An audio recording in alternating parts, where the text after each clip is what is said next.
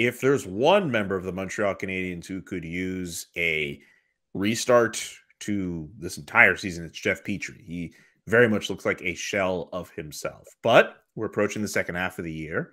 Maybe there's a chance he could find himself, find his game. Who knows? Um, I'm going to start with Rick. Do you think Jeff Petry can find his game for the second half of the year? I'm already getting a head shake. That doesn't look good.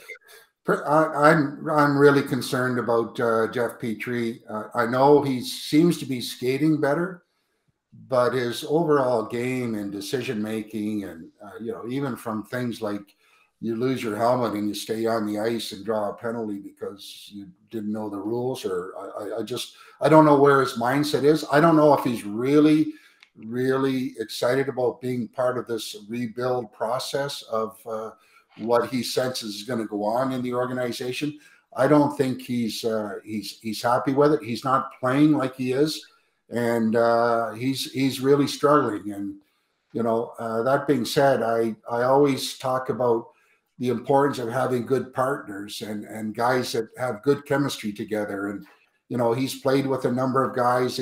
He's been given a you know opportunity to try and get his game back, but uh, I really see him struggling in so many ways, and I I don't know whether we're going to find the the Jeff Petry that we found uh, in other years because uh, it's not happening, and I I don't I don't see it. Uh, the you know with with what I've seen to date, him getting it turned around on the final stretch. I'm actually going to push back on that because I think his decision making since he came back from injury is significantly better than it was earlier in the season, and it started to get better before he went down to injury and then I believe uh, COVID protocol as well that kept him out longer.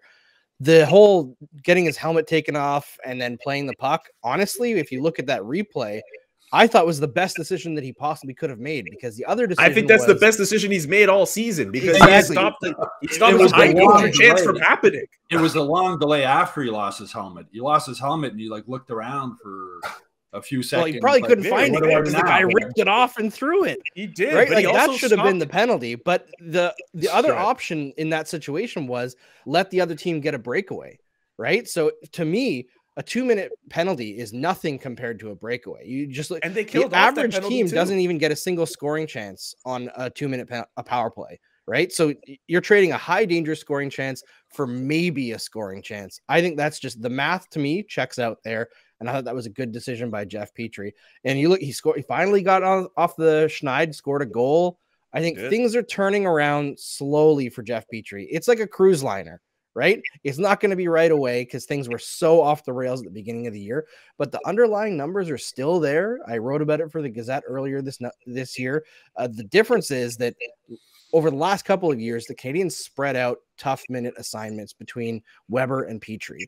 And essentially the third pair was not hyper sheltered, but this year with Wideman and Niku, they've really, really sheltered that third pair. Those guys are just not playing top end minutes against uh, opponent, uh, great top end opponents.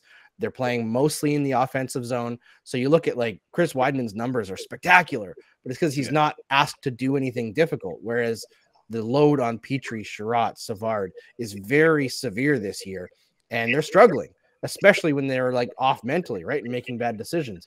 So, of the players that actually play regular NHL minutes against top end competition, Petry's numbers are still the best on the Canadiens decor. The offense has just been non existent. So, overall, there's a lot of signs to me that say Petry's going to be okay.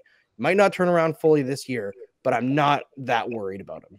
I'll push Dude. back a bit on the helmet thing because I think his head's not in the game for whatever reason. And when he lost his helmet, he was like, "Look at it, there's no penalty," and I think the team stopped playing too, and I think that created the the scoring opportunity as much as anything else. But you know, this season's been like anything that can't. There's a lot of stuff that's been happening with Jeff Beach. You know, him and Carey Price are good friends. Their wives are great friends. They have a business together. Carey goes into the uh, the player assistance program at the beginning of the season. That obviously has an impact on him.